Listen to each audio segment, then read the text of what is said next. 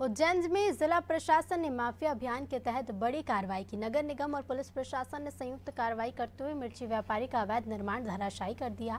बता दें कि उद्योगपुरी में स्थित मसाला चक्की से खाद्य विभाग ने मसालों के नमूने लिए थे। इसमें मिलावट होने की पुष्टि हुई। फ़िलहाल पुलिस ने मसाला व्यापारी पर खाद्य अधिनियम के तहत मामला दर्ज कर जाँच शुरू कर दी है।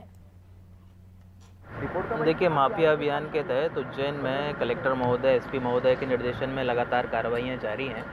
इसी क्रम में खाद्य विभाग के द्वारा ये उद्योगपुरी में स्थित गजराज मसाला चक्की पे नमूने प्राप्त किए गए थे जनवरी में।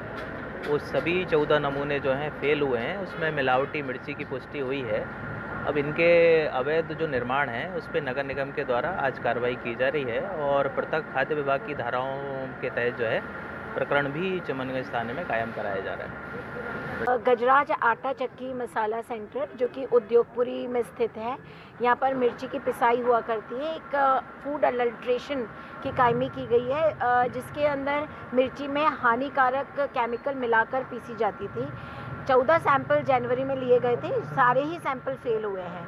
आज नगर निगम द्वारा नियमानुसार कार्रवाई की जाकर पुलिस प्रशासन लॉ एंड ऑर्डर के लिए तैनात है।